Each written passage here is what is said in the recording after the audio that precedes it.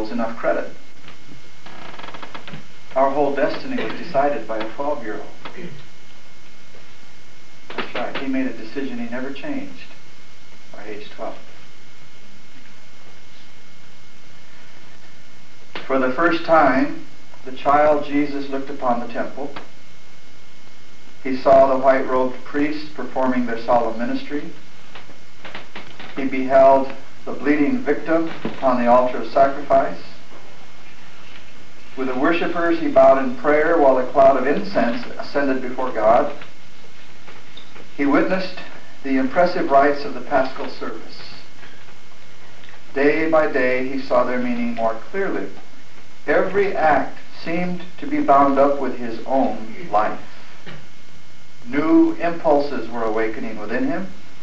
Silent and absorbed, he seemed to be studying out a great problem. The mystery of his mission was opening to the Savior. So he was studying something. In other words, he did not know really what That's, that's right. Yeah, he did not know. You see, he had to learn the same way that we have to learn things. Step by step, there has to be effort, there has to be study, there has to be time put in. And Jesus did all those things, but he found himself at the right place at the right time to really understand. And where was he on this occasion? At the temple, okay? He was looking at the sanctuary services. And he was studying the sanctuary to find out what his mission was. So if Jesus had to study the sanctuary to find out what his mission was, what about us? I don't know about you, but when I first joined the church, I didn't get any studies on the sanctuary. And you know, new people don't know what to ask for. They don't know what's available. So they just kind of accept what comes along as it comes along and, and just take it that uh, this is the way it works. Well, I never heard about the sanctuary. I don't know about you. Everybody has different experiences, but I never heard about it. Later, as I went through the system, I became a pastor. We didn't study the sanctuary at the seminary. And so I began my life as a pastor knowing nothing about the sanctuary. Well, the seminary, that's, that's where I went, Was- uh, Washington, Andrews University over there in Michigan. Now, I don't know what they teach in college because I didn't take that course. I went directly to the seminary, but I know I didn't receive any information on the sanctuary in those days. And it was many, many years into the ministry before anybody made any kind of, a, of an issue out of it to me. And it was not from the work. It was a layperson who began talking to me about it. And I went, what in the world are they talking about? And it kind of just slid by me, the whole thing. Well, you know, that's a tragedy because what I read on this page, if Jesus needed to study the sanctuary to see who he was, what his mission was, we have been missing out if we don't understand the sanctuary. Because God never changes. In Great Controversy, 488, we read a little piece out of there yesterday.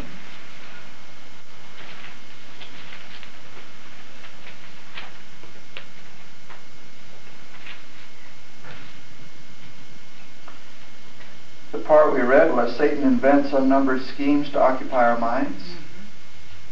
That uh, they may not dwell upon the very work which we, with which we ought to be best acquainted. What do you suppose that work is that we should be best acquainted with? So he invents all kinds of things to keep us from studying that subject. Later this week we may get some surprises to see some of the things that we study and we think we have the gospel, but it's another diversion.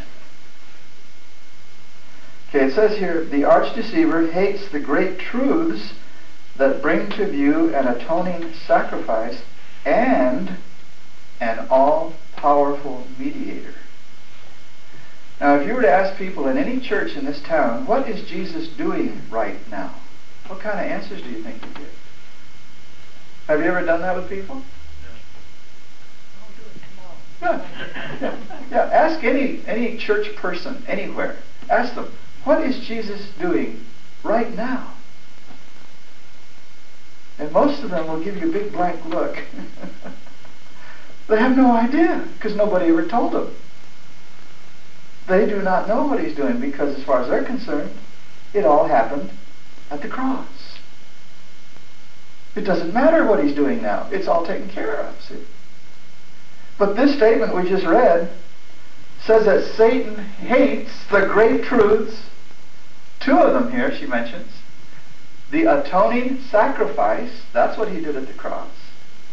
And what was the second thing? An all-powerful mediator. That second part is as important as what he did on the cross. And yet that's not being talked about today in the churches. And we haven't done a very good job either. And that's supposed to be our mission. To tell them what he's doing today. I'll continue reading on this page. Those who would share the benefits of the Savior's mediation should permit nothing to interfere with their duty to perfect holiness in the fear of God. They should allow nothing to interfere with their duty to perfect holiness in the fear of God. That is the Seventh day Adventist duty to perfect holiness. And it says they should allow nothing, nothing to interfere with that. I wasn't told that one either. Continuing. The precious hours, instead of being given to pleasure, to display, or to gain seeking, should be devoted to an earnest, prayerful study of the Word of truth. And I'm not going to ask anyone here. You can ask yourself.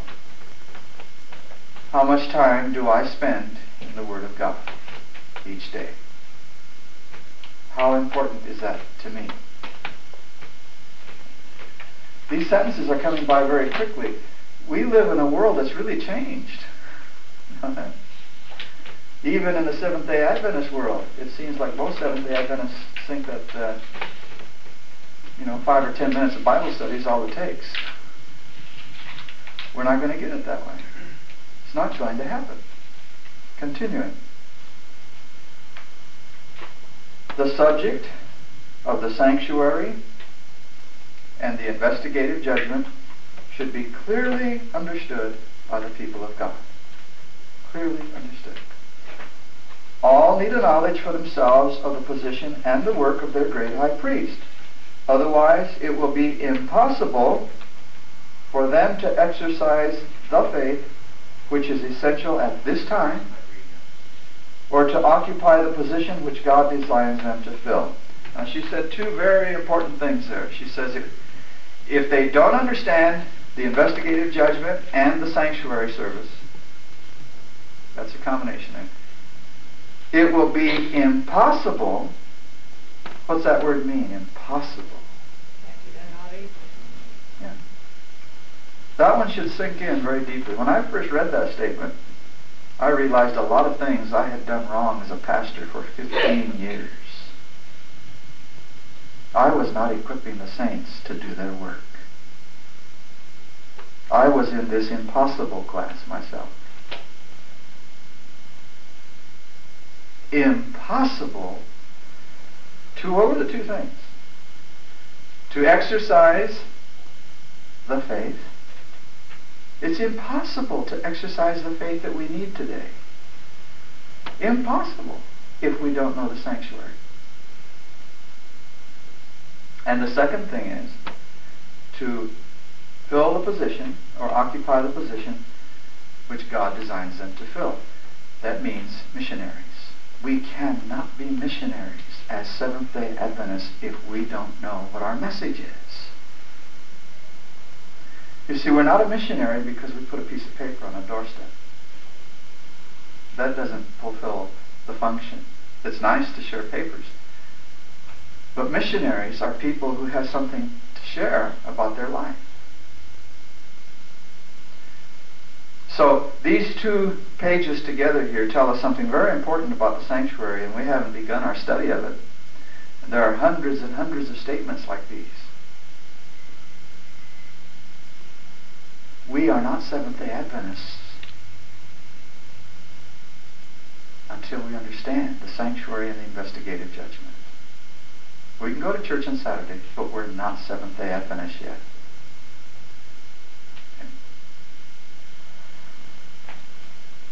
Said that to an administrator one time, and he took issue with me, but uh, I believe the statement stands.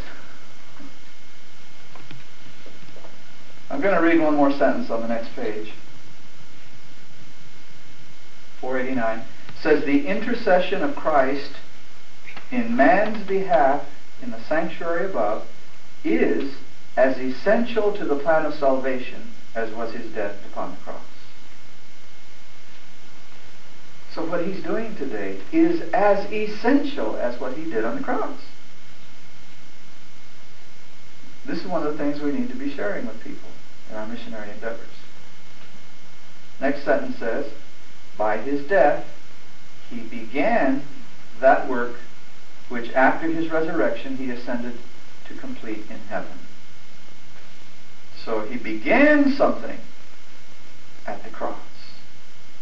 That's a whole different picture than the churches are teaching out there. They are teaching it all finished at the cross. It's all done. But we have some good news for them. It really is good news. Jesus began something there that he's completing, and he is a perfect workman. We need to present the real good news to people. And it's not that everything happened at the cross. That is tremendous, a tremendous issue there at the cross. But it's the beginning of something, not the end. Let's draw some of that. Now I've gotten used to that now.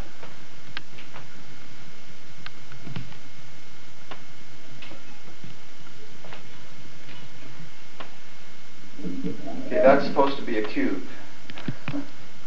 Okay, a cube. It's a, you know, the first square we're going to deal with tonight.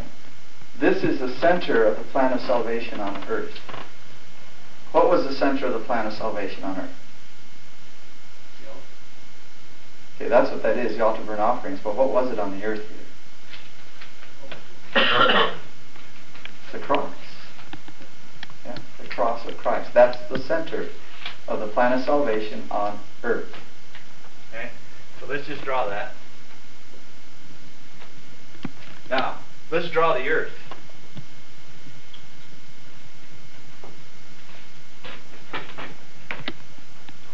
There's the earth. That square represents earth. So everything in that square is the plan of salvation being worked out on earth. We're going to draw another square now.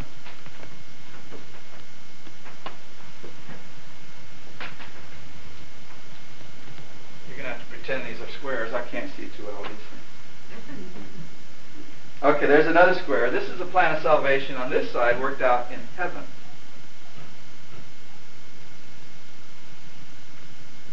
The center of the plan of salvation in heaven is another square.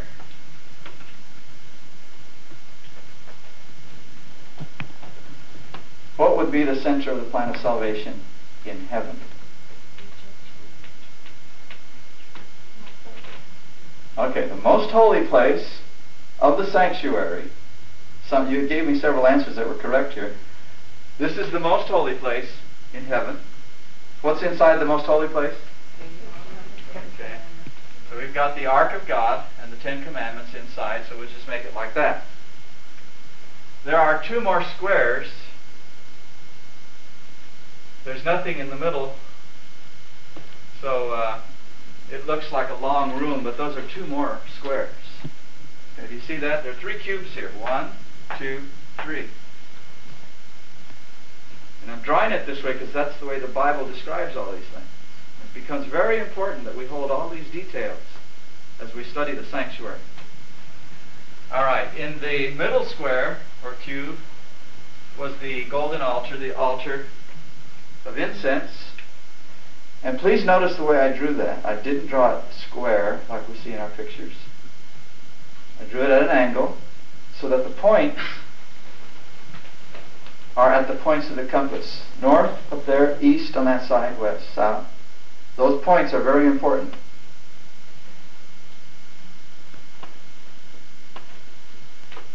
Table of showbread. The golden candlestick. I'll just make some dots there for that. Okay. So we have two large squares. That one represents what? Earth. This one over here? Heaven, okay. So we have two reference points. What happens on earth? What happens in heaven? Now, just seeing this much of the picture, we already have this sentence that we just read.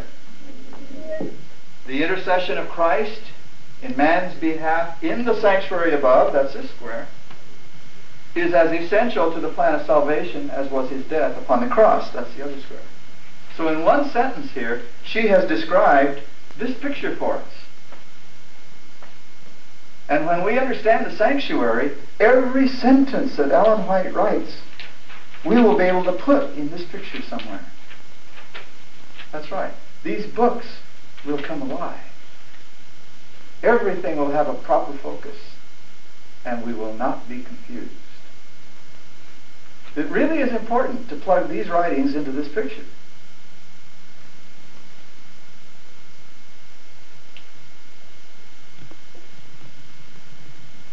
Label. Now notice I didn't draw it in a straight line in between. That's where all our pictures put it. But it has a southerly feature to it. Later on we'll talk about that. Okay, I think that's enough to begin with. We have all the elements that we'll look at the next few days. Maybe I should move this over here. I won't be using those books too much anymore. The uh, walls were made out of white linen. Okay. Nine feet tall. What's about nine feet tall here? Maybe the top of the windows there.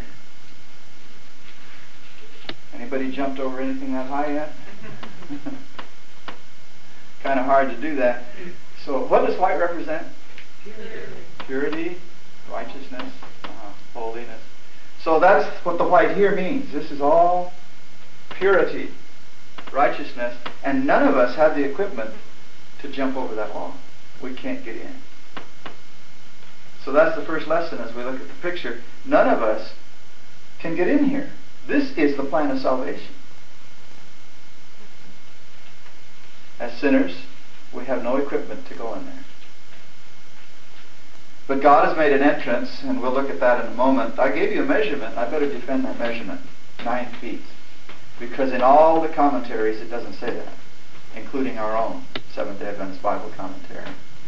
And anything that's in print in all of our literature doesn't give that measurement. Uh, in Ezekiel 43, verses 13 and 14, God tells us that the sanctuary had a different measurement than the normal Egyptian cubit. This cubit that's measured in here is called a royal cubit in Ezekiel.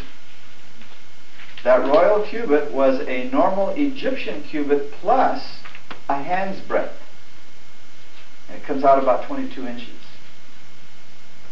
When you put that cubit together and you start measuring everything, the sanctuary, which had 10 cubits at the entrance here, and these are 10 cubit squares, comes out 18 feet, not 15 feet, as in the commentaries.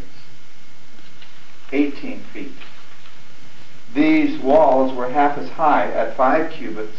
That makes this 9 feet. Now, you don't need to take my word for what Ezekiel is saying. You can read that sometime. But you might want to look at Patriarchs and Prophets, page 347. Ellen White on that page says, that the entrance was no more than 18 feet. She uses the royal cubit.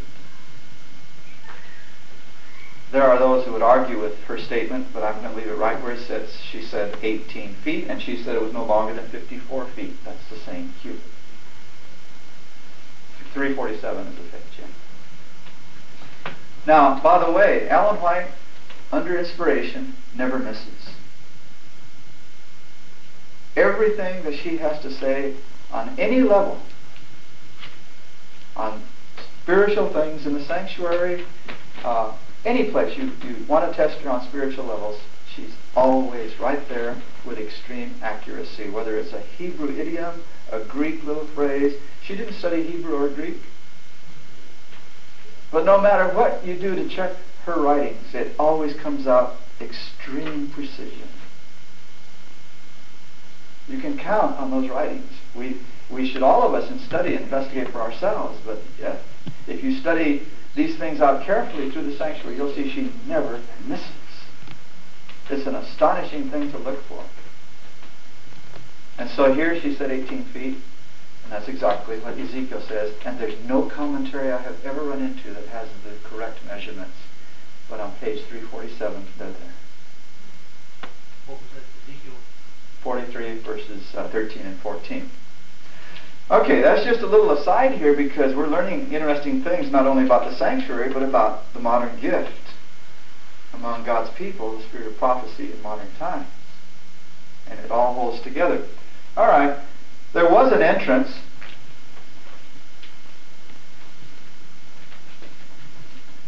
And it was on the east side.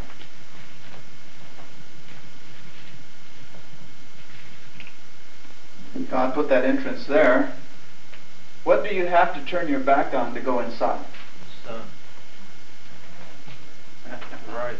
The rising sun, yeah. yeah. Let's look at the Ezekiel, the eighth chapter. Ezekiel is full of good sanctuary information. Uh, actually, the whole Bible is. While you're looking for that, I just might mention that the first 800 words in the Bible are about the creation of our solar system. Yeah. The rest of the book of Genesis is about forming one family. Uh, very important family.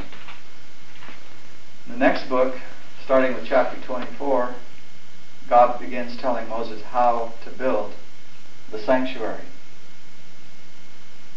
The next 15 chapters are involved in the details of how to build this. Now notice it took 800 words to talk about the solar system and its creation. It takes 15 chapters to build this. The next 27 chapters of the next book are all about what to do with this. The next book is all about the sanctuary. As you start working your way through the prophets, it's about God's dealing with the people and the sanctuary. God forsook the sanctuary four different times because of the choices of the people. You get over to the book of Daniel, the whole book of Daniel is about the judgment dealing with the sanctuary. You get over to the New Testament, the first book, Matthew, is about a king. Jesus as the king. What is the king of beasts? What do you think about? Lion, okay? King of beasts. Jesus was the king from the tribe of Judah, the lion.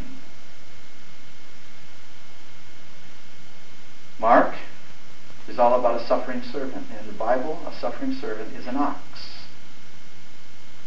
The book of Luke is about Jesus as the perfect man. The book of John is about Jesus as God, the eagle. Have you seen those before somewhere? Mm-hmm. Lion, mm-hmm. ox, mm-hmm. man, eagle. In Ezekiel, where we, we're going right now, he describes those four living creatures as around the throne of God. So there's no big secret about what it represents. It's the four phases of Jesus' ministry, symbolized by those living creatures. So in Ezekiel 8, Ezekiel is being told by God himself to notice some things going on in Israel. God calls them abominations, wicked abominations. Come over here, son of I want to show you these abominations. And he starts showing him things. And they get worse and worse and worse. Until finally he hits the major one in that chapter. Verse 16. He brought me into the inner court of the Lord's house. And behold, at the door of the temple of the Lord, between the porch and the altar, were about five and twenty men, with their backs toward the temple of the Lord, and their faces towards the east. They worshipped the sun toward the east. Now, this was God's true church. And this was his priesthood. And they turned their back on the sanctuary. And the only other place they could face was the sun, and they were sun worshippers. Now, Ezekiel 8 was put in the Bible for a very, very particular reason. It's a warning to God's church in all ages. Do not turn your back on the sanctuary because there's only one other place you can face when you do that. It's called sun worship. And history has borne it out. Every time God's people have turned their back on the true plan of salvation, they start doing it like Sunday keepers. Now, there are obviously real children of God in all those Sunday keeping churches, sure. We know that. But the systems don't belong to God. The people do. Let's keep that straight in our minds. The systems do not belong to God. He only has one system at any time on planet Earth that he calls his own. Otherwise, there would be confusion. And his true system deals with the sanctuary. He did say other sheep, but he didn't say other fools. That's right, just sheep. That's right. Okay, so let's keep those things clear in our mind, but let's not forget Ezekiel 8. We have a warning here. Don't do it like Sunday keepers. We need to keep real close to Ezekiel 8 because Ezekiel 9 is the next chapter. You know what happens in Ezekiel 9? It's judgment time. That quick in the next chapter. Judgment time for the people who forsake the sanctuary. You don't have to read the whole rest of the book of Ezekiel to get there. It's the next chapter. When I first noticed that, it uh, sent some shivers up and down my spine because I realized what a responsibility any teacher in this church has. Any teacher, no matter whether it's official or unofficial. It's an awesome thing to claim to teach the truth of God. We have to stay right in the Word. And in that chapter is the seal of God, Ezekiel 9. Yeah. That's Revelation 7 for the Old Testament. The seal of God. It has to do with the sanctuary. God's true people are going to do it this way. And that's what we're going to look at this week. What does this mean? What does it say to us? What is it that cannot be changed here? Otherwise, Ezekiel 9 comes. That's what we need to understand. No Sunday keeping company, group, denomination knows this. None of them. God had to raise up a people starting in 1844 and through those years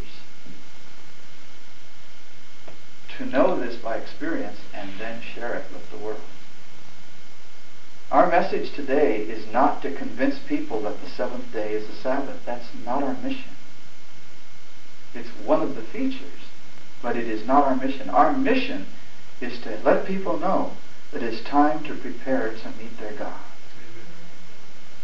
That's it. That's our mission. And it's not like Billy Graham is saying it when Jesus comes in the clouds. That's not our message.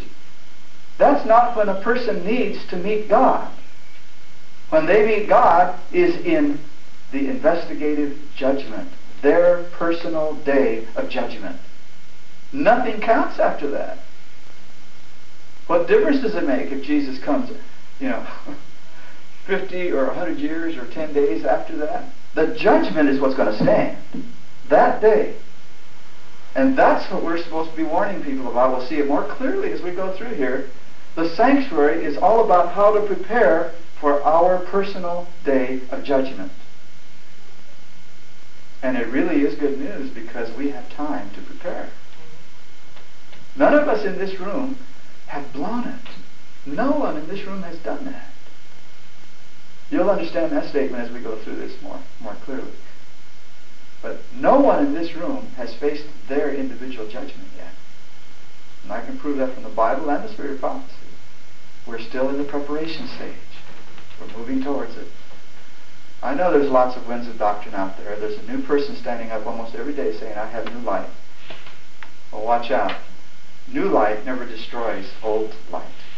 It doesn't change it one little bit. Be careful with what's coming around nowadays. Everything has to be measured. Okay, let's get into it. This entrance on the east side was made out of linen material. It was held up by pillars of brass. And uh, the material was actually threads of different colors. It was blue,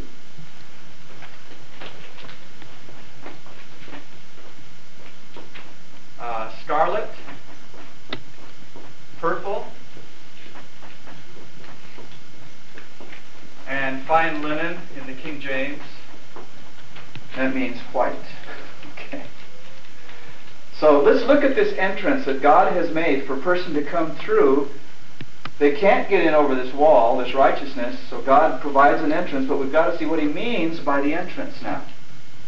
So let's break down the code for just a little bit here. Let's go to Exodus 24, verse 10.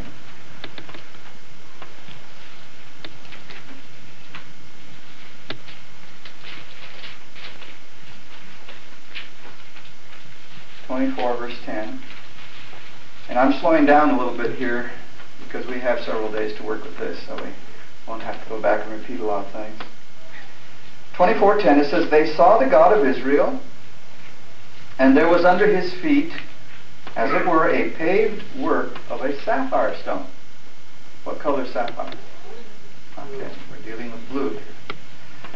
And as it were the body of heaven in its clearness. What color is the sky? so here's a little trick. Hebrews always say things that are important two times coming at it from different ways so that you can't confuse what's being said. So obviously here he wants us to understand he's dealing with the color blue. Because he says it twice from two different sides. Sapphire stone, the sky. There was another color of sapphire, and that's why they did that. Yes, that's true. That's true. Sapphires are not only blue. So he makes the point here. We're talking about blue. Good. Now, in verse uh, 12, with just as a verse removed there, one day I was reading and I noticed how these two verses are linked together. And I had not seen them like that before. It says, The Lord said unto Moses, Come up to me into the mount, be there, I will give thee tables of stone. Didn't we just read about stone? And a law and commandments which I have written. God wrote the commandments on stone. Have you ever wondered what kind of stone? Mm-hmm. Well, it said in the verse just before that, sapphire stone. Is it possible that he wrote it on blue sapphire stone? Well, let's go to Numbers, the 15th chapter, and let's see.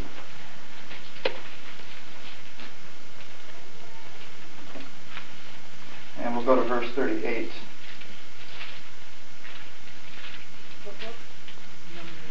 Numbers 15, 38.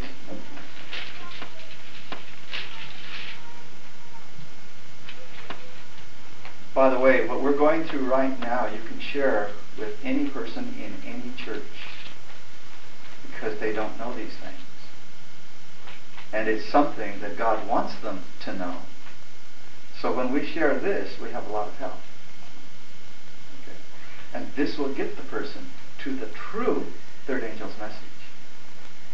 That's what we're doing. This is the third angel's message we're going through.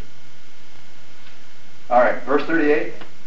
Speak unto the children of Israel and bid them that they make them fringes in the borders of their garments throughout their generations, and that they put upon the fringe of the borders a ribbon of blue. There's that blue again. Well, what are they supposed to do?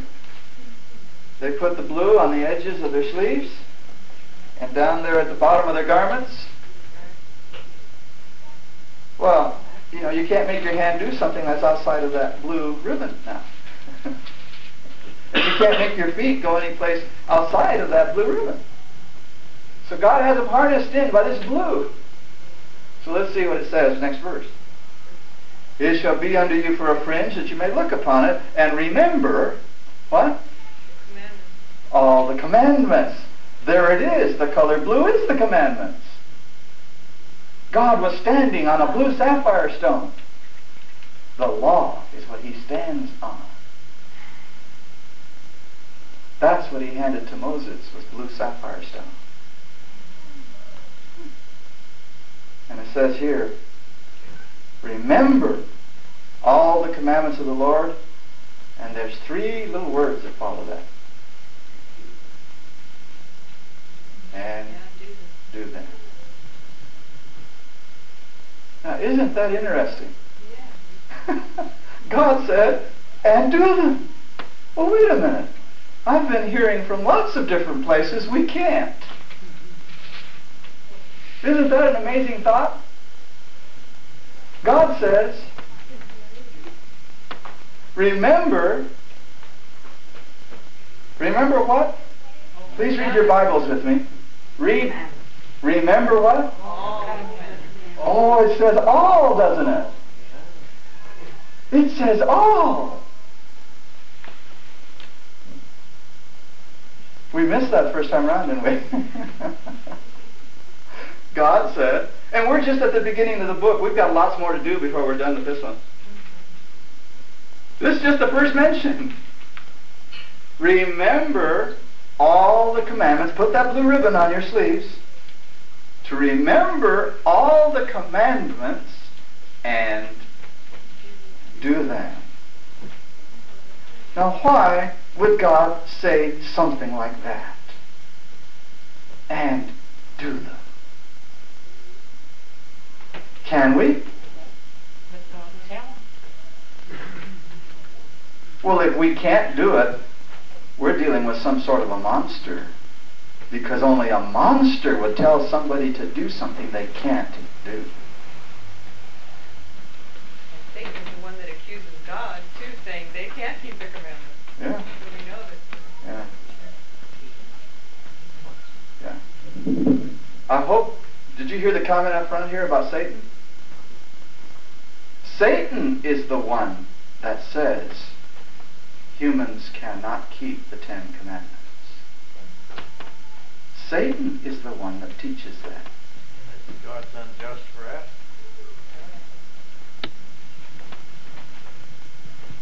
We're going to move a little quicker, although we're talking slower this time around.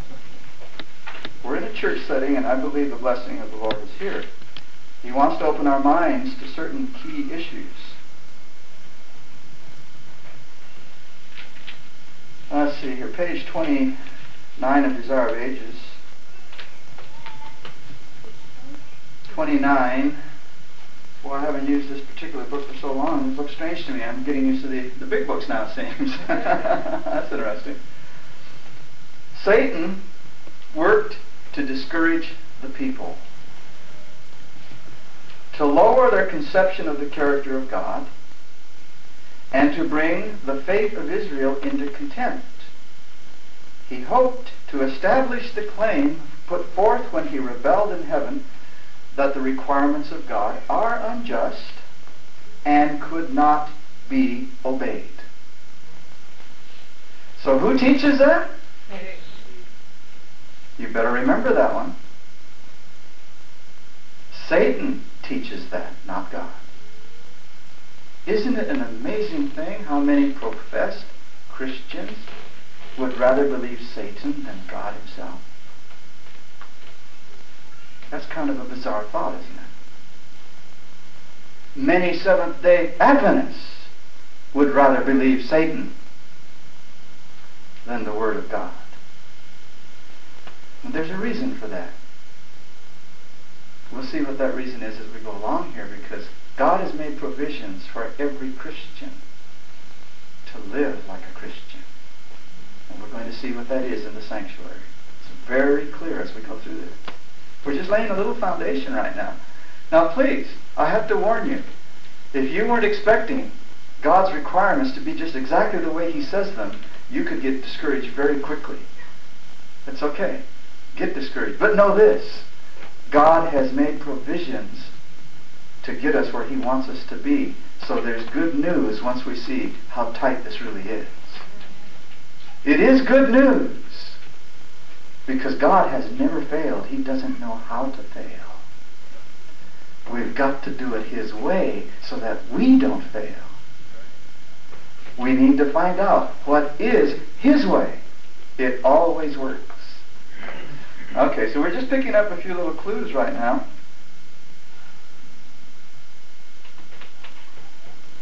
On page 27, Desire of Ages, it says, God had chosen Israel. He had called them to preserve upon, among them, excuse me, among men the knowledge of his law and of the symbols and prophecies that pointed to the Savior. God chose Israel to preserve among men the knowledge of the law. He raised up the Seventh-day Adventist Church to do the same thing. To preserve on this earth the knowledge of God's law. Now, at the corner, there's a boulevard stop.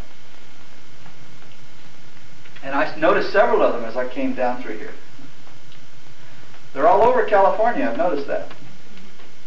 Somebody has spent a lot of time legislating a law that says there's going to be boulevard stops at certain places. And somebody bought a lot of wood, and they painted a lot of signs, and they paid somebody to plunk those things in the ground in lots of places. Do you suppose that they mean for somebody to stop?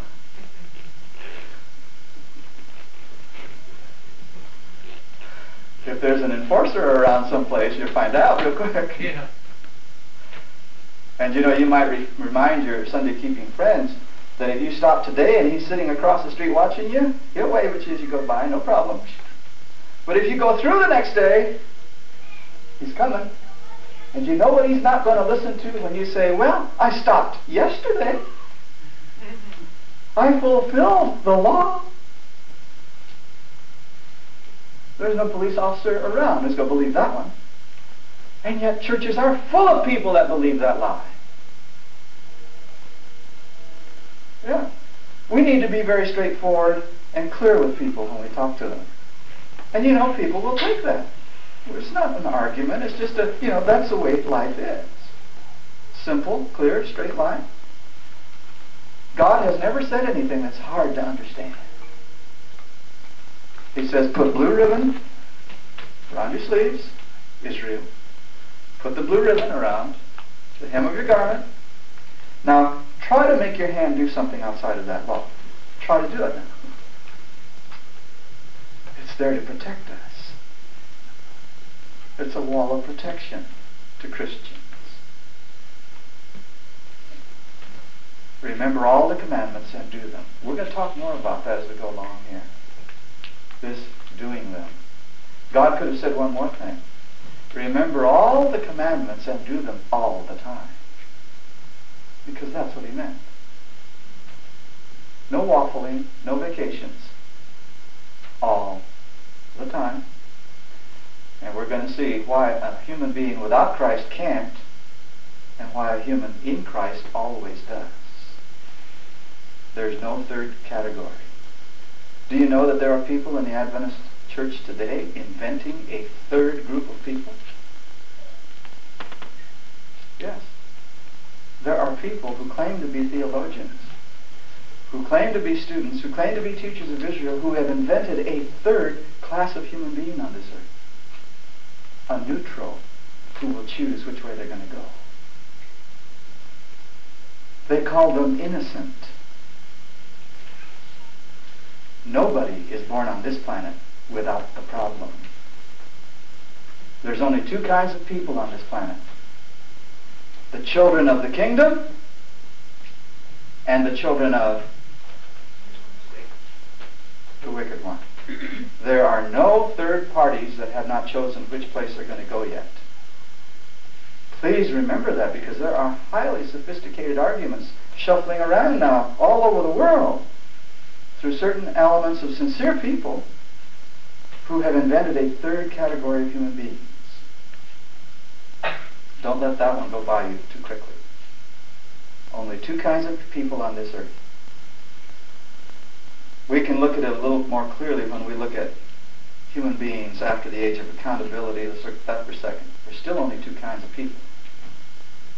The obedient and the disobedient. There's no other kind of human beings. The loyal, the disloyal. There's no other kind. Just run that through your head and prepare yourself because there are some really terrific arguments coming by this people by some highly sophisticated means. But let's keep this the way God says it. Okay? If you want more information on that later, we'll, we'll get into it because it impinges on several important issues, like who was Jesus when he was born? Uh-huh. Who was he in his walk as a human being?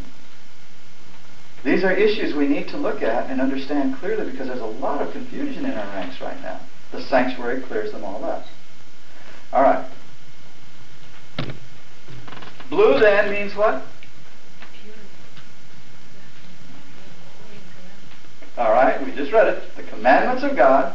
And obviously, if God made the commandments, he meant them to be obeyed. So we're talking with the color blue, obedience to the law of God. That's the first color in that veil, the entrance into the sanctuary services. So we've broken the first color, blue. The second color, red. What do you think of when you think of red in terms of the sanctuary service? Blood. Blood, okay. Blood. You know, I didn't need to read the Bible to find out that life is in the blood. Leviticus 17:11. Because the first time I ever saw my blood out there, I knew it. Yes, I did. No one had to teach me. That red blood out there said to me, No, that's my life. it doesn't belong out there. Well, we either have life or we don't. That's a whole 100% thing, isn't it? There's no half alive people, really. We use the term, but you're either alive or you're not. So let's throw in a couple of quick words in here. We're just trying to break down these colors to see what God means by them as a means of coming in here. We use words like uh, surrender, and then just go by. I learned a long time ago to not take things for granted, to break words down until we all know what we're saying. So let's look at this word surrender for just a moment. Uh, in the Second World War, when uh, the Pacific Theater was finally uh, finished up over there, the vanquished enemy came on the battleship Missouri, and they came with their symbol of defeat. The sword was right there. They brought it. And suppose that they had said to the generals and the admirals waiting, uh, we surrender 85%. No? Wouldn't have worked, would it? I mean, after the pounding that everybody took in that war, somebody comes up and says, well, we'll surrender 85%. No way. How about 99.5%? No? That's pretty tough generals, huh? what did they want? What did they get? Unconditional. Yeah. Unconditional. No reservations. 100%. Well, however you want to say it. That's what the word surrender means.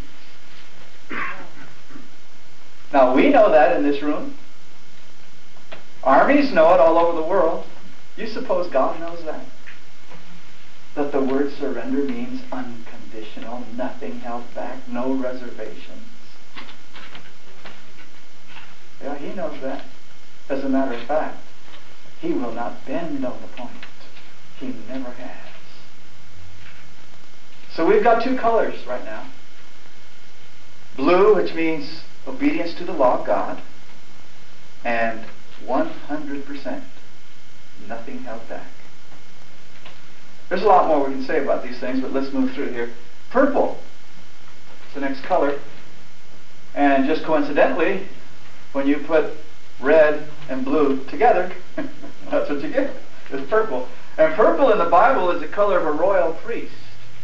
Royal priesthood. First Peter 2 9, doesn't he talk there about we're a peculiar nation, we're royal priests, king priests? Yeah. That's what a Christian is, is king priest. And uh, white, we already talked about, that's purity or righteousness. So we've got all four colors broken down enough that we can see that when these colors are used in the Bible, they mean these things, but the four colors are put together in threads and woven to make the entrance. And so God has provided all of this in that curtain so that the person can come into the sanctuary. So what do you suppose that curtain means? What, what is it a symbol of when you put all those colors together? Obedience to the law of God all the time. 100% life. Nothing held back. King, priest, righteousness. It's Jesus. The entrance is Jesus himself. The only way in to the plan of salvation is through Jesus. And you have to turn your back on sun worship to come in this entrance. We must never go to a Sunday keeper to find out how to grow a church. I can give you another big list, but you already can work with that. Of things we're not supposed to do as God's sanctuary people. God has commanded us not to do certain things. Not because he's arbitrary, but because he knows we will lose our spirituality if we do it as sun worshippers. He knows that. He's trying to protect the real remnant. And by the way, don't think that everybody in the Seventh-day Adventist Church is going to heaven. Ellen White said she saw two companies forming. The big company and the little company. And guess who's who? That's right. She saw a little company forming. All right. So now we have enough of the environment to deal with here. We know there's a curtain. By the way, that curtain was held up by pillars that had silver hooks that pierced that veil to hold it there. It pierced the veil. What's the veil? Oh, Jesus. Yeah, he was pierced four times to hold him as the entrance in here. Yeah, the symbols here are just tremendous. They go on and on and on. We're not going to be able to touch them in four or five days here, but I want to hit enough so you know this is powerful. This is God's true gospel. And if what we believe doesn't fit in here, it's got to go. Because this is the truth.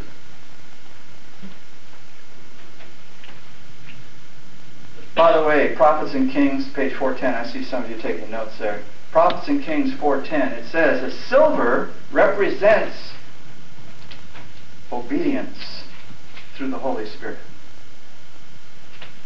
That's what held Jesus on the cross. Obedience. He didn't want to do that for himself. It didn't feel good. He was there being faithful to his Father. Brass. Brass. The hooks are silver. The hooks are silver, yeah. But you look at that in Prophets and Kings, it's right at the top of the page, 410. Silver, symbol of obedience through the Holy Spirit. That'll mean more to us too as we see ourselves in the sanctuary. All right, so a person now is ready to come through the entrance. Let's get a person.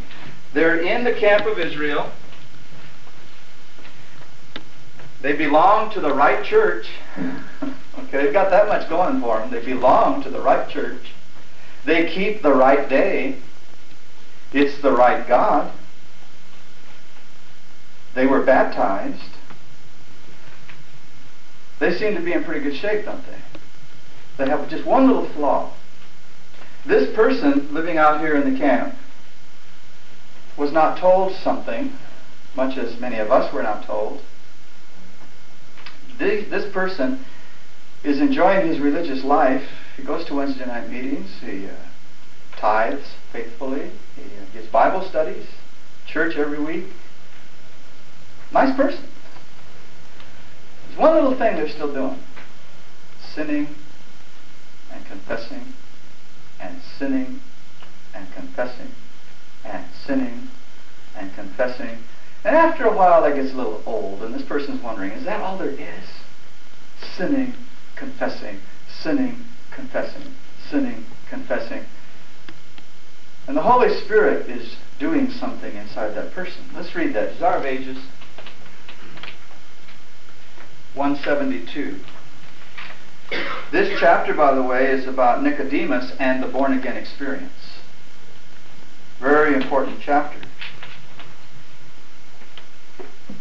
Reading the last paragraph, it says, The wind is heard among the branches of the trees, rustling the leaves and the flowers, yet it is invisible, and no man knows whence it comes or whither it goes. So with the work of the Holy Spirit upon the heart. It can no more be explained than can the movements of the wind. A person may not be able to tell the exact time or place or to trace all the circumstances in the process of conversion, but this does not prove him to be unconverted. By an agency as unseen as the wind, Christ is constantly working upon the heart. Who's doing that? All right. Little by little, perhaps unconsciously to the receiver, impressions are made that tend to draw the soul to Christ. This person is not a Christian yet.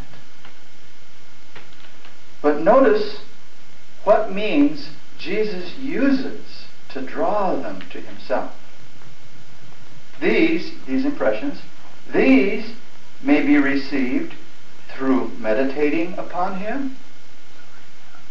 Do you know any atheists that meditate upon Christ? Mm-hmm. Any infidels, freethinkers, agnostics? Who is this person that's being drawn to become a Christian that meditates upon Christ? Next line. Through reading the Scriptures. This person studies the Scriptures. There's another one, the third one. Or through hearing the word from the living preacher. This person goes to church. This person studies the scriptures. This person meditates upon Christ, but they're not a Christian yet. Suddenly, as the Spirit comes with more direct appeal, the soul gladly surrenders itself to Jesus. By many, this is called sudden conversion, but it is the result of long wooing by the Spirit of God, a patient, protracted process. Now, to me, in that last sentence we read just before, there's a key thought there. It says, suddenly, as the Spirit comes with more direct appeal, this person out here, remembers, belongs to the right church. They've been sinning and confessing, sinning and confessing. But they've been learning, they've been meditating, they've been studying, they've been listening to the living preacher, and finally the Holy Spirit breaks through with a concept. Why don't you become a Christian? And notice what this person does. Says they gladly surrender to Jesus. What does that word gladly mean? They're not saying, oh, you mean I have to stop eating whatever? That's not in their head. You mean I have to stop drinking or talking or associating or being entertained by or... They're not saying any of those things. They've been through that already in the wooing process. They finally have come to the place where those things aren't in their heads anymore. The sentence says, when the Spirit suddenly comes with a more direct appeal, the soul gladly surrenders itself to Jesus. Gladly. Tired of sinning and confessing. This person now knows there's a way to stop that. And they're happy about it. Now, what does surrender mean?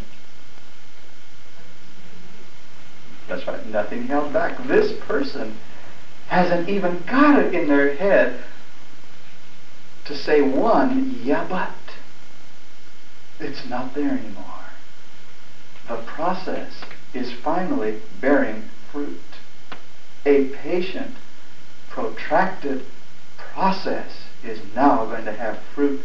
This person is willing, happily, to say, Lord, nothing matters in this world, in this life. I want Jesus.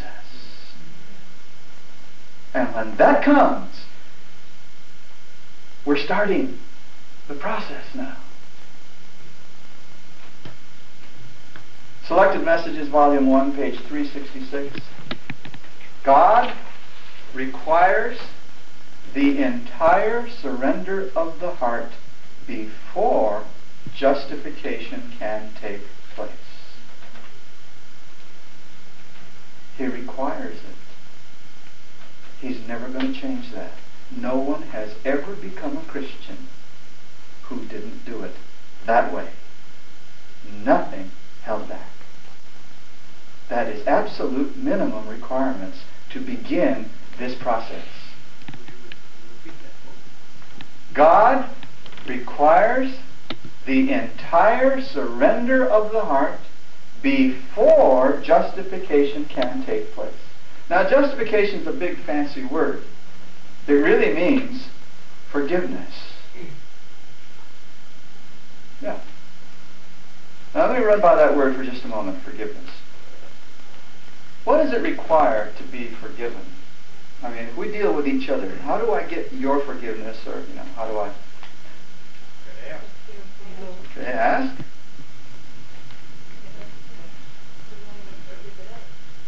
Oh, okay, good. There's. let's work with that for a second. Let's say, let's say that Dan is standing by the door out there tonight, and on the way out, I give him a quick kick on the shin. I said, well, I'm sorry, Dan. Sorry. And I go out the door. But I notice he doesn't leave. He's still standing there. So I come back in. And I go out again. Another quick one on the shin. I said, oh, I'm sorry. He still doesn't move. I come in again. and I kick him again on the shins. And I say, I'm sorry. What's he going to start thinking about me? Not going to believe it. Now, let's say you better get away.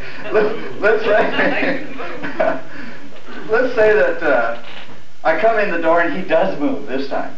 Ah, he's he's gotten smart. You know, he's gotten wise to me. So he moves aside a little bit. I said, "Oh, okay. Good night, Dan. Oh, by the way, Dan, you gonna stand here tomorrow night?" And he says, well, I might. I said, well, okay, if you do, uh, I'm going to come through here, I'm going to kick you in the shins, and I'm going to say I'm sorry.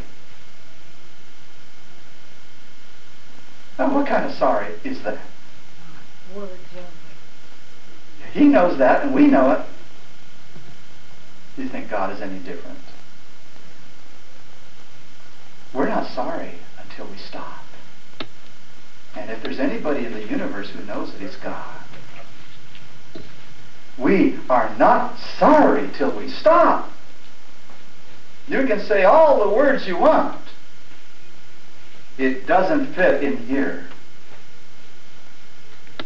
God requires the entire surrender of the heart before justification can take place.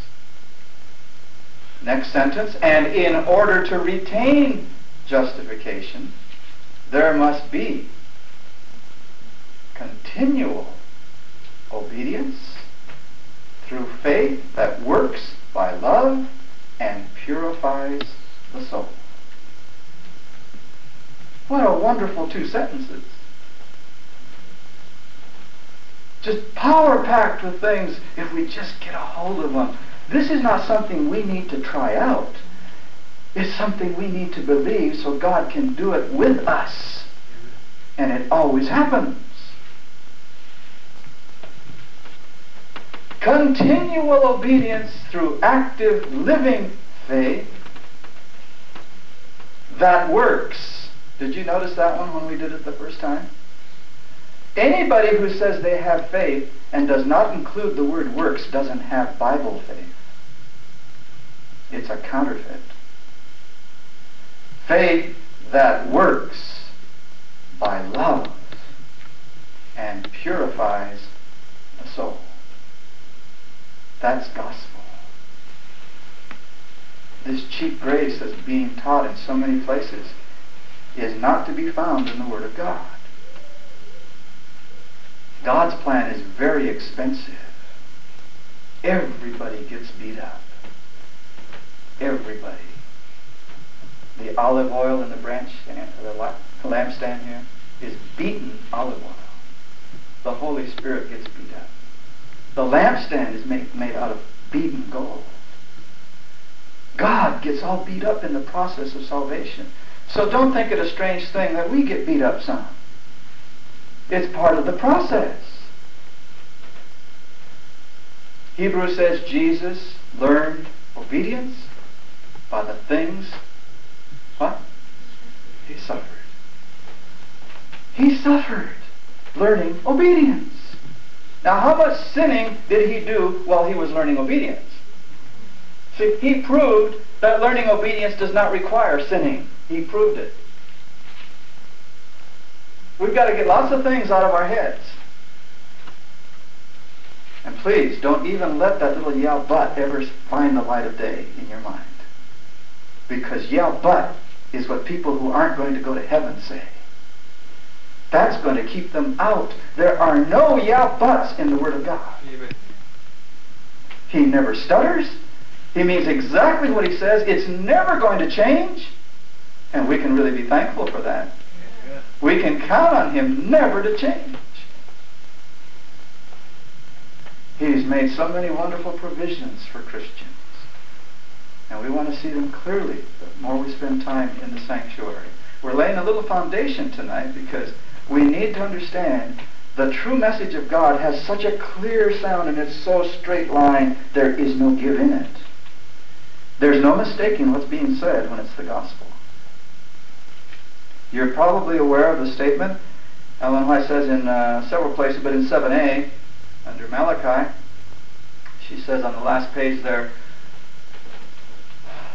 that John the Baptist never had truth languish on his lips, notwithstanding the danger to his own life. He rebuked kings for their iniquity. And then later she says, Our testimony will be more pointed than John the Baptist's. Mm-hmm.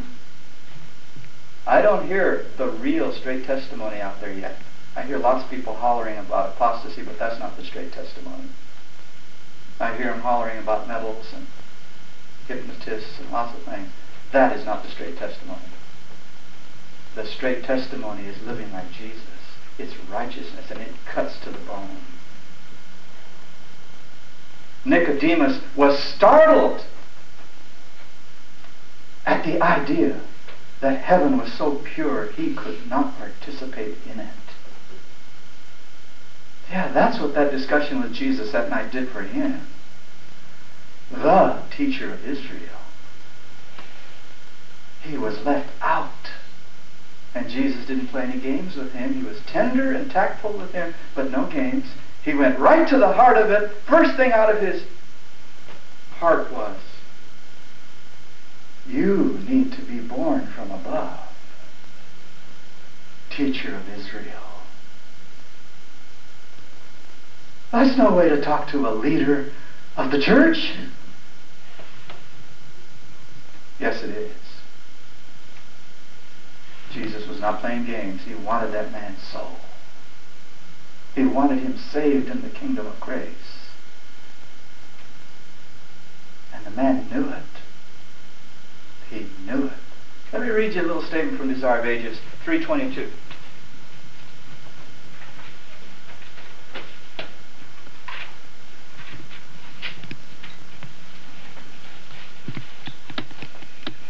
The Pharisees to whom Jesus spoke this warning did not themselves believe the charge they brought against him.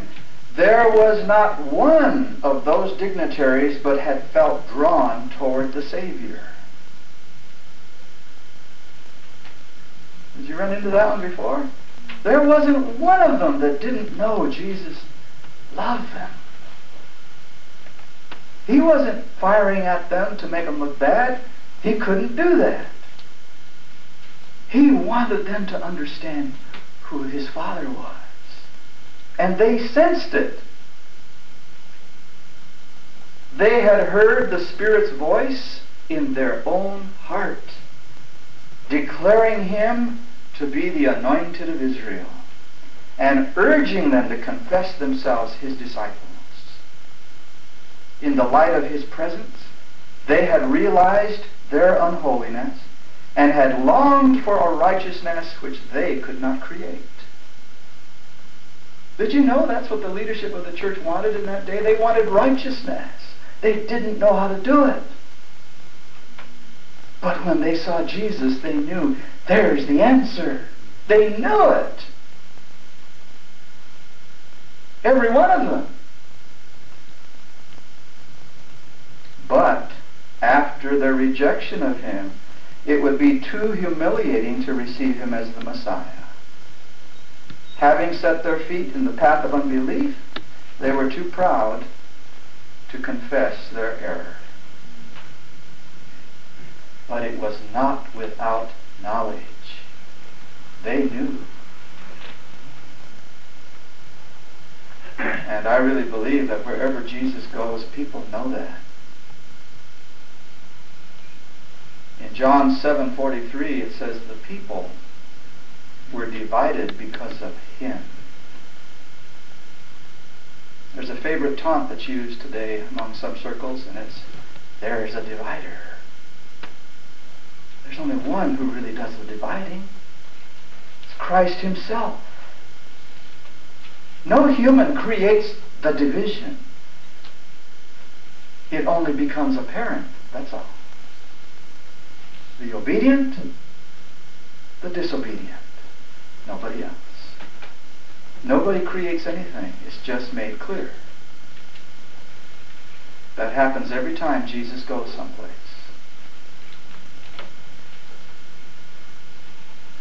This person is ready, made the full surrender. Nothing held back.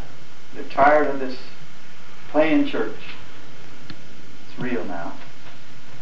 They're going to come through the entrance, through Jesus. They're going to get into the plan of salvation now. But they don't come alone. They have something with them. What is it? Okay, all right. Little animal, a sacrifice of some sort. They come through the veil, through Christ, but there's somebody waiting for this person coming through. A priest. Yeah. Nobody could come through there without confronting a priest. Now, why was that priest there?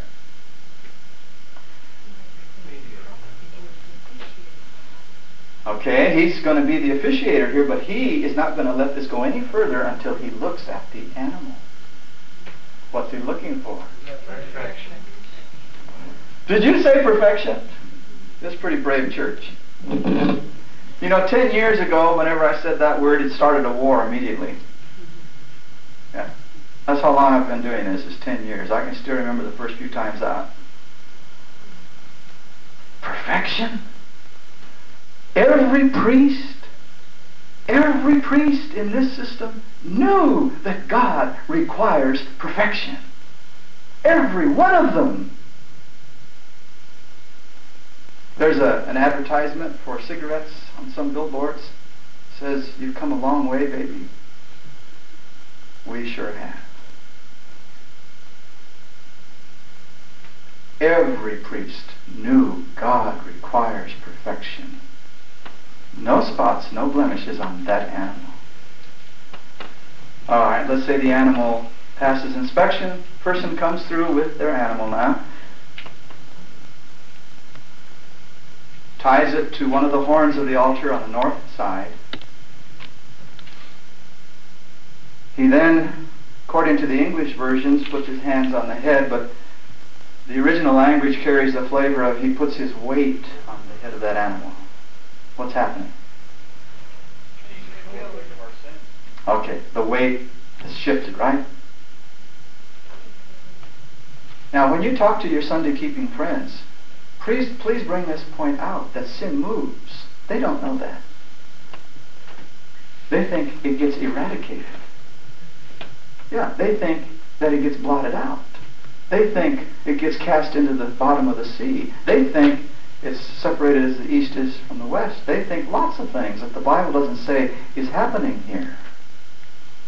Sin moves. It's a very important idea. All right, so the sin is moved from the person to the animal. The priest stretches the head towards the sanctuary, and the person with a sharp knife cuts the animal's throat, and the animal will now bleed to death.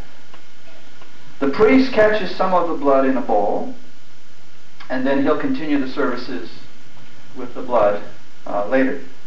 The person is free from condemnation. But where is the sin now? The animal's dead. And the blood, okay? And the blood is now in the bowl. You see, the sin has been moving through the blood. And it will eventually end up in the sanctuary, and the sanctuary will have a record of that sin. And that's where it sits until the end of the year. Jeremiah 17, verse 1.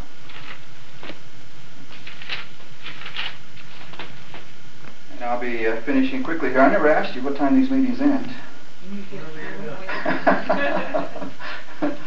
you shouldn't say that because I can go for days and days.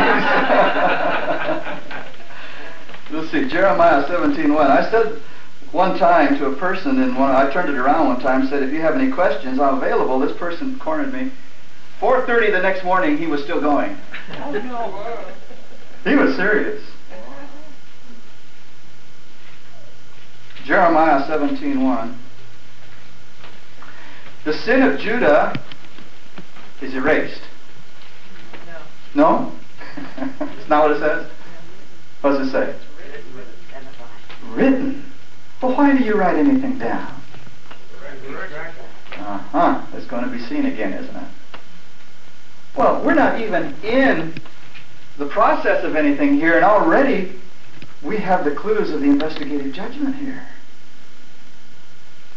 A doctrine that some wise doctors say doesn't exist in the Bible.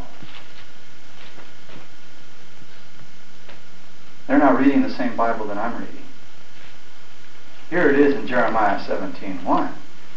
I have written the sin of Judah with a pen of iron with the point of a diamond. It is graven upon the table of their what? Where's that? Huh? It's who you are by your affections. God says, I'm going to record your forgiven sin on your mind. Now, has he or hasn't he? Surely, I remember. Isn't this something that some very brilliant individuals with PhDs after their names say, well, God's forgotten? Well, if I remember, how did he forget? It doesn't even make sense, that kind of a statement. Let's keep this thing clear and simple. All this erudite theological jargon, forget it. God is clear. He says, I'm writing it down. And I know he's written it down. I remember. But that's not the only place. It says, and upon the horns of your altars. So God records the sin two places, in me and in his sanctuary.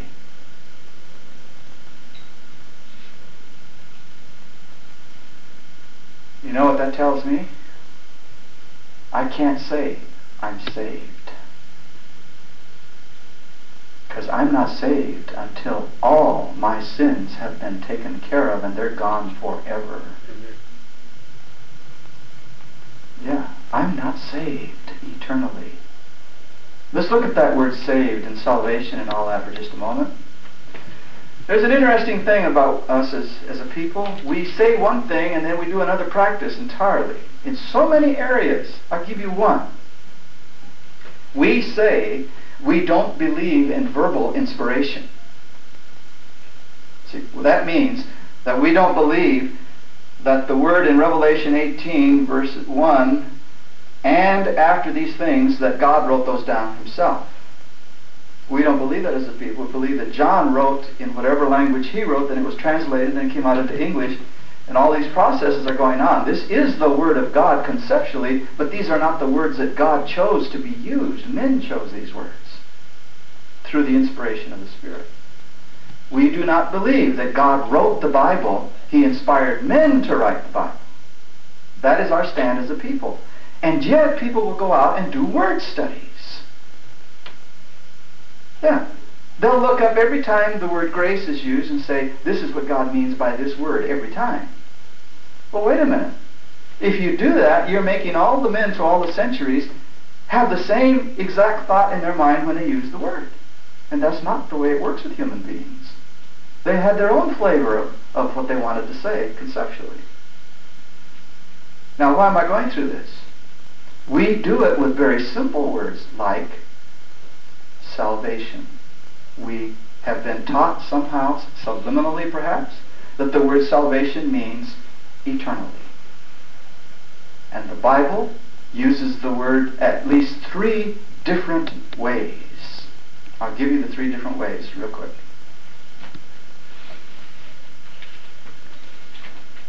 This person that we have been talking about, who has come through, is now forgiven. They are forgiven for their past existence. They are not forgiven eternally for everything they will ever do now.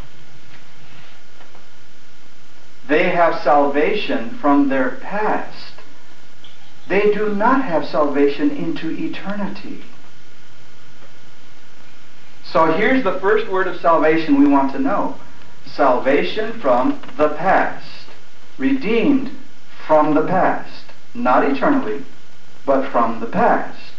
That means that whereas I was in a hopeless condition, none of us can ever take back one minute of our past. One second. That's done. Jesus says, I will substitute my perfect life for your ugly past.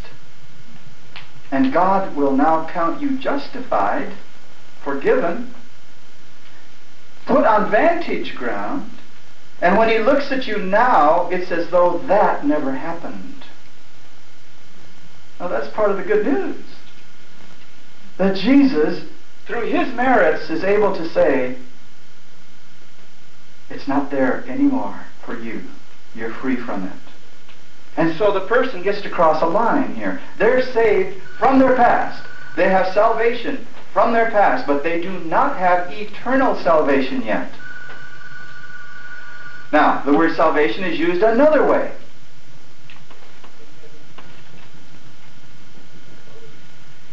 In this period here, after, and we haven't discussed how a person becomes a Christian yet, we're just talking about forgiveness so far.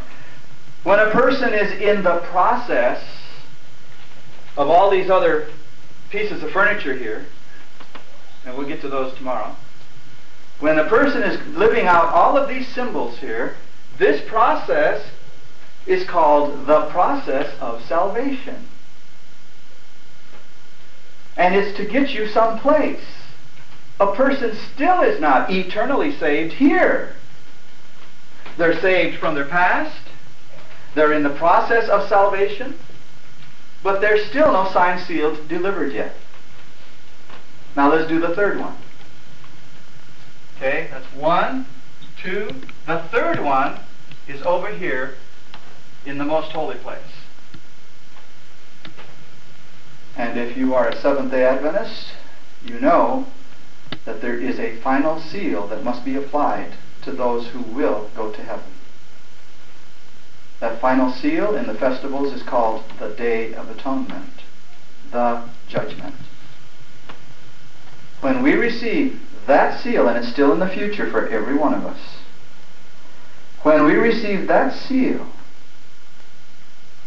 then we are saved into eternity, and nothing can take it away. The Baptists were right. Once saved, always saved. They just put it at the wrong place. Yes, it's the truth. Once you are actually saved into eternity, it's forever. It cannot be taken away. So let's be careful who we're fighting with. Let's just clear up the terminology, that's all. I'll do that with one other word very quickly because we're going to move over a lot of ground this week. We have to see the sanctuary issues very clearly so we can see how the false gospel works. I'm not going to tell you the false gospel. Take too long to explain all that stuff. We're just going to hit the real one and then you'll see the difference. The word atonement. In all of Ellen White's writings, watch for this.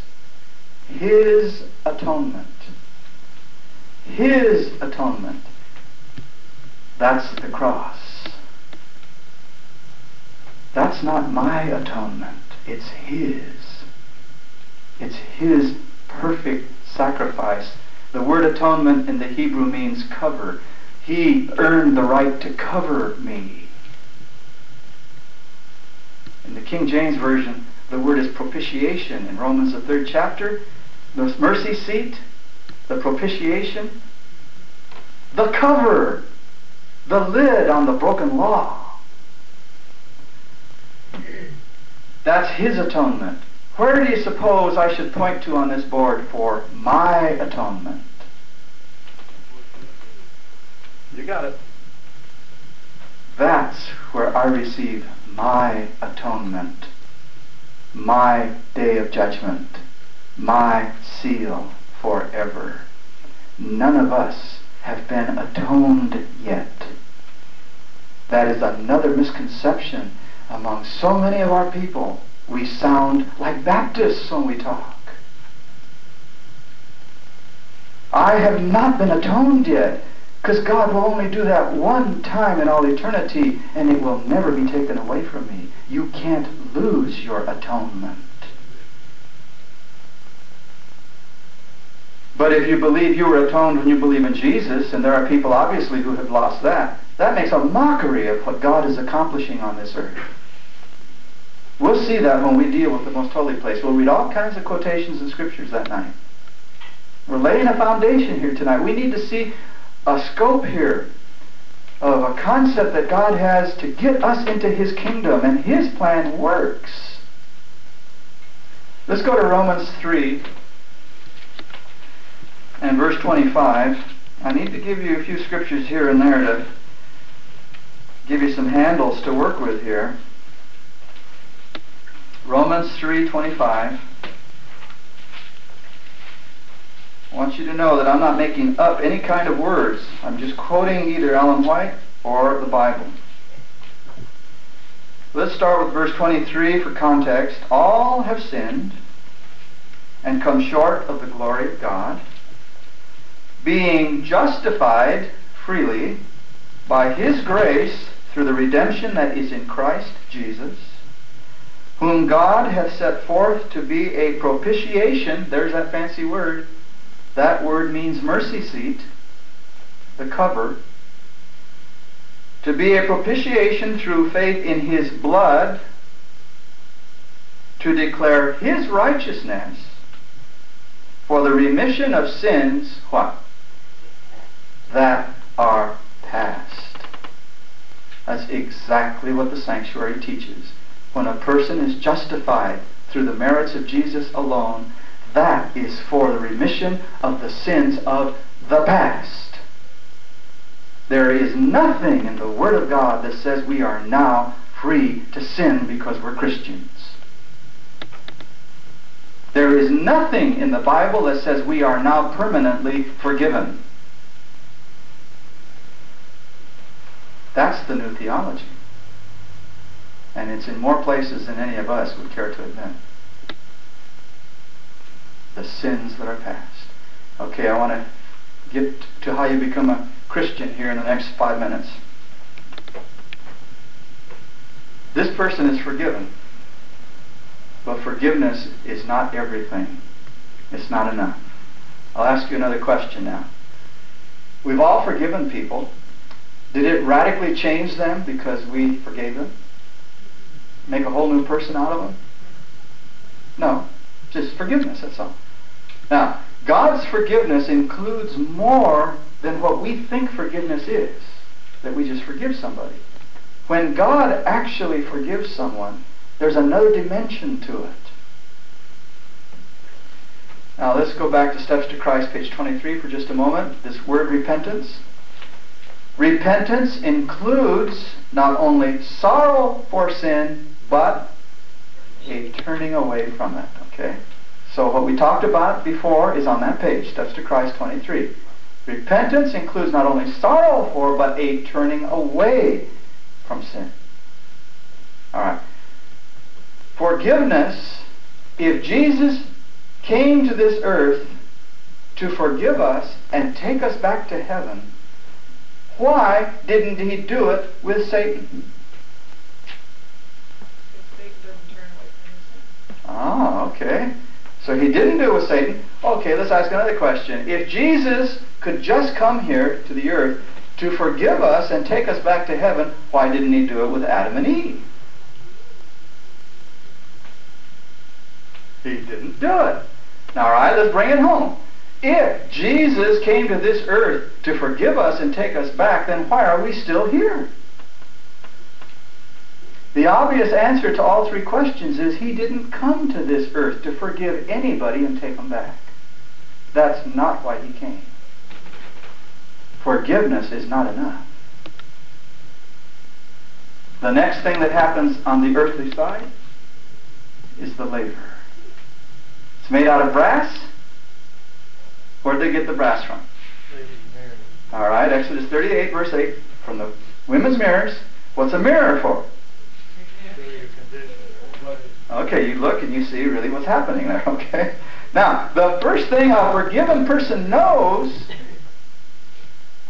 is that the mirror is waiting. James, the first chapter, the mirror is the law of God. A person looks into that and knows, I can't do it by myself. I never have been able to. Nothing's really different except I've been forgiven. They know they have a problem. But God has a solution. There's something inside the laver. Water. The blood takes care of our past. The water gives us a new life. That's why Paul said, a new creation.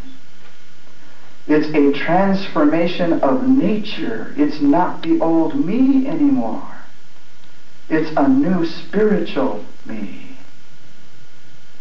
Because Christ has come to live in me. And I now participate in divine nature. I'm no longer just a human. And so when anybody uses that excuse, oh, I'm only human, they're saying, I'm not a Christian. Christians don't say that. No, Christians have Jesus living in them. We'll talk about that more tomorrow night when we start. Now I want to read one little page from Early Writings 209 and we'll call it a night tonight. We got to the place where we know how a person becomes a Christian through just two articles here. Early Writings 209.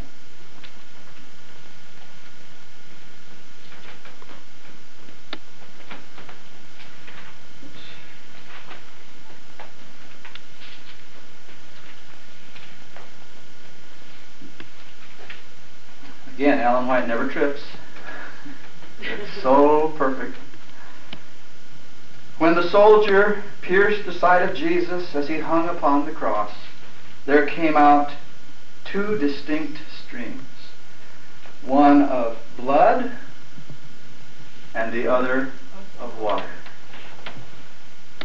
The blood was to wash away the sins of those who should believe in his name, and the water was to represent that living water which is obtained from Jesus to give life to the believer.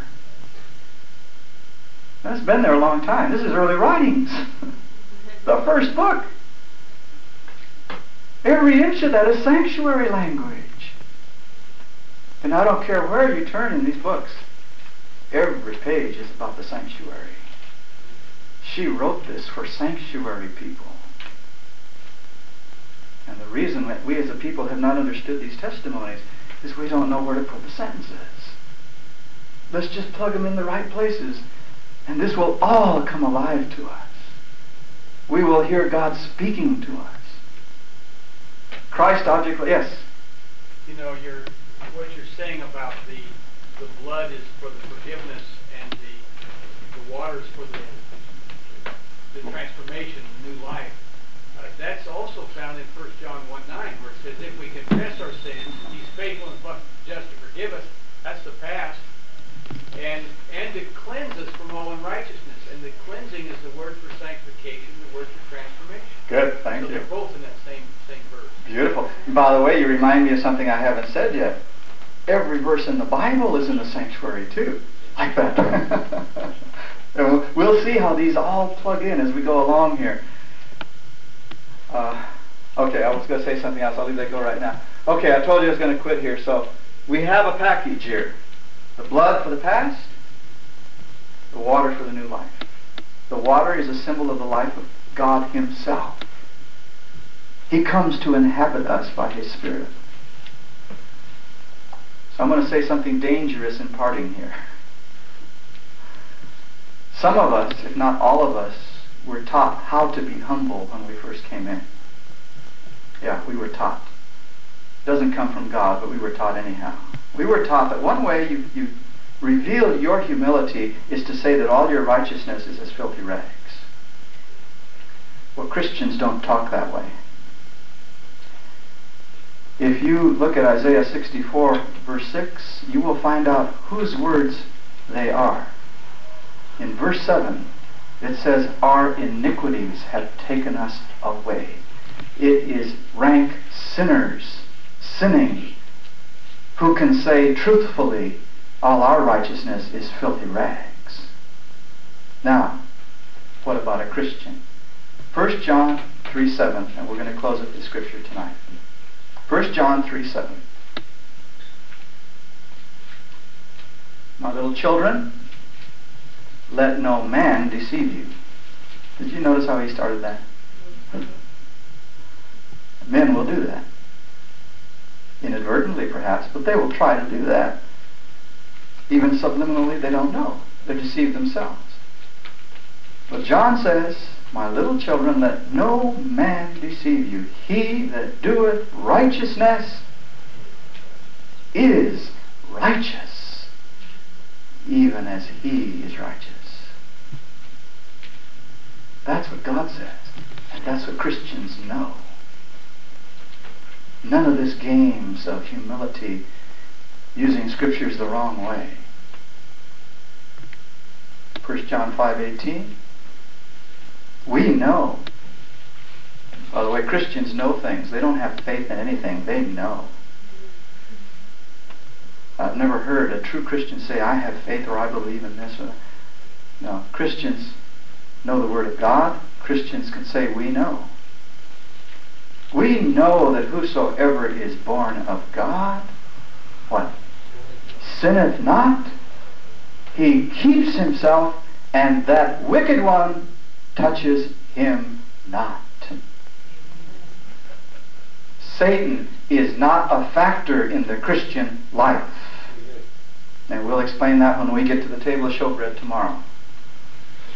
Sanctuary says all these things. We just need to keep bringing things in and fitting them in the right places. But this is a glorious message. It is a message of victory, of overcoming, of obedience, of love. It's a, it's a message of bliss and happiness and peace with God. It's a message that if we share this with people, they're going to say, Who is your God? That's what they're going to say.